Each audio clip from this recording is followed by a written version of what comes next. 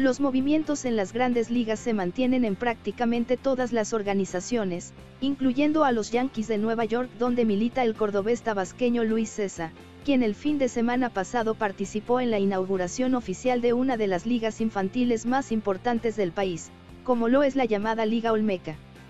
César Gasperín se mantiene en plena recuperación pero espera estar listo lo antes posible para volver a ganarse un lugar con los neoyorquinos que esta misma semana, realizaron dos de los movimientos más importantes del año.